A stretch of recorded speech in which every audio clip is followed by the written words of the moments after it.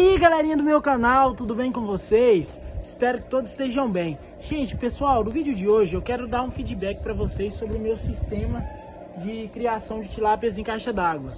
Hoje estamos com, com duas semanas que a gente já mostrou o sistema, inclusive tem os vídeos de passo a passo aqui já no canal. E hoje eu vou dar algumas dicas para vocês sobre a criação de tilápias em caixa d'água. Então, se inscreva no canal, compartilhe com seus amigos. E é isso aí, pessoal. Bora pro vídeo! Now the world just one drum. What might be right for you may not be right for some. Man is born. Pessoal, primeiro eu vou dar um vou dar um, um tour aqui pelo meu sistema, fazer uma breve explicação para vocês. Aqui esse sistema, eu usei uma caixa d'água de 500 litros de amianto e eu recobri ela com essa lona, pois ela tinha um problema no fundo, onde estava quebrada essa caixa d'água. E aí eu usei tubulação de 40 milímetros, vocês podem ver curvas de 40 milímetros. O, esse cano que sai diretamente da caixa d'água passa, vai para o decantador, entra lá embaixo no decantador, sobe para cima a sujeira, deixando a sujeira mais pesada na parte de baixo do decantador e subindo a sujeira mais maneira, que passa por esse cano de 40 também, que vai direto para o filtro.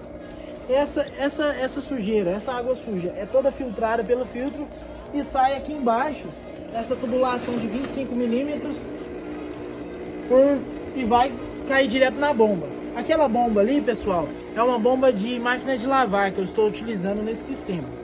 Inclusive, já tem duas semanas que estou com esse sistema e ela, tá, ela não está com uma potência muito boa, vou ser realista com vocês. Porque eu, eu comprei ela usada e talvez ela já vinha com esse, talvez com esse problema. Então certamente eu vou estar tá melhorando essa bomba. Mas por enquanto isso não afetou ainda na saúde dos meus peixes. Então pessoal, é... E eu estava alimentando os peixes e estava tentando para tentar mostrar eles para vocês como que elas estão e eu só que elas são bem ariscas, quando a gente chega, vê que a gente tá chegando perto, elas já somem, já tentam se esconder. É, o que eu queria falar para vocês também, que é importante salientar, que é, não pode estar sobrando ração nessa, nessa caixa d'água, porque quando vai sobrando mais, acumulando mais ração, pode dar um pico de amônia todo, e prejudicar todo o sistema de, de, dessa criação e prejudicar os peixes, gente. Pode vocês verem que aí, ó, tentei filmar que elas estavam ali no fundo reunidas, elas, tá, gente? Pessoal, outra coisa que eu queria dizer para vocês é alguns feedbacks que eu quero sobre a criação dessas tilápias. Alimentação. Eu estou alimentando ela de duas a três vezes ao dia. Eu estou alimentando elas a uma média de 50 gramas de ração diária. Certo, pessoal? É, vocês podem me perguntar se houve perda, se alguma morreu nesse tempo. Houve sim. E por que que aconteceu?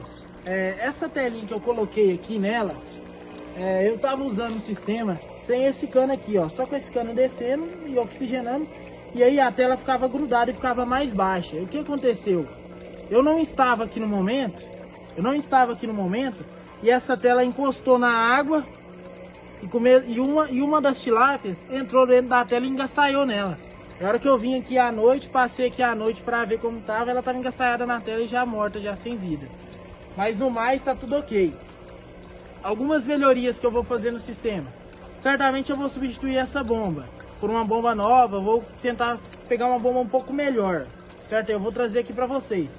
E outra coisa que eu tô querendo é, fazer aqui também nesse sistema é que eu tô querendo transformar isso aqui numa hidroponia, esse sistema. O que que eu vou fazer? Esse cano que volta aqui, ó, eu tô querendo transformar ele em um cano maior e fazer o cultivo de alguns vegetais nessa própria mesma água faz para os peixes. Então vai ficar muito interessante, vai ficar um sistema mais complexo e muito interessante. Vocês podem também estar fazendo na casa de vocês. Então brevemente vai ser mais vídeos aqui sobre isso para vocês. Espero que vocês tenham gostado desse feedback. E é isso aí, pessoal. Muito obrigado. Se inscrevam todo mundo aí, deixa o like, tá bom? Valeu!